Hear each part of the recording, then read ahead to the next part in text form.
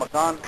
سانحہ دات دربار کی بعد ایک طرف تو ملک بھر میں کالعدم تنظیموں کے خلاف کریک ڈاؤن کی بات ہو رہی ہے تو دوسری جانب اسلام میں کالعدم تنظیموں کے سربراہ کا کھلے عام گھننا ایک سوالیہ نشان بن گیا ہے۔ مزید تفصیلات کیا ہیں اسلام آباد سے؟ ہمارے ساتھ ہمارے نمائندے اعزاز سید اپنی سپورٹ میں ہمیں بتائیں گے۔ یہ کوئی دور دراز علاقہ نہیں بلکہ اسلام آباد کا مصروف ترین تجارتی مرکز بلو ایریا ہے۔ اور یہ گاڑیاں کسی وزیر یا سرکاری افسر کی نہیں بلکہ کالدم سپاہ صحابہ کے سربراہ مولانا محمد احمد لدھیانوی کی ہے، جو کھلے عام دارالحکومت کی شاراؤں پر گھوم رہی ہے۔ دان نیوز نے ان گاڑیوں کا پیچھا کیا تو معلوم ہوا کہ مولانا محمد احمد لدھیانوی ان میں موجود ہیں۔ مولانا لدھیانوی کالم صدرہ ہیں، جن پر پنجاب میں ایک درجن سے زائد سنگین نوعیت کے مقدمات بھی درج ہیں۔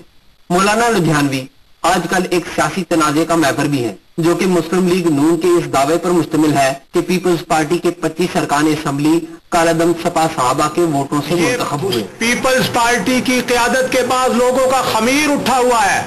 انتہا پسندی سے اور دہشت گردی سے اور لوٹ مار سے۔ دان نیوز نے موقع کا فائدہ اٹھاتے ہوئے مولانا سے اس بارے میں سوال کیا۔ تو انہوں نے کسی قسم کی ہچکچاہٹ کے بغیر اس کی تصدیق کر دی۔ میں اسے الزام نہیں سمجھتا انہوں نے ایک حقیقت بیان کی ہے۔ میں نے گزشتہ دنوں کئی چینلوں کے اوپر ان پچیس آدمیوں کے نام، بما ڈریس یہ چینلوں کے اوپر پیش کیے ہوئے ہیں اور میں ذمہ داری سے یہ نام پیش کر رہا ہوں۔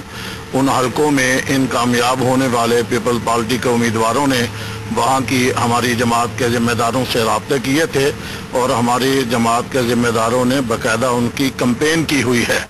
اگرچہ مسلم لیگ نون اور پیپلز پارٹی شدت پسند تنظیموں کے خلاف کاروائی کے دعوے کرتی ہیں لیکن گزشتہ عام انتخابات میں دونوں جماعتوں کے انہی کالدم تنظیموں سے مراسم کے فوائد بھی ملے ہیں۔ اعزاز سید ڈان نیوز، اسلام آباد۔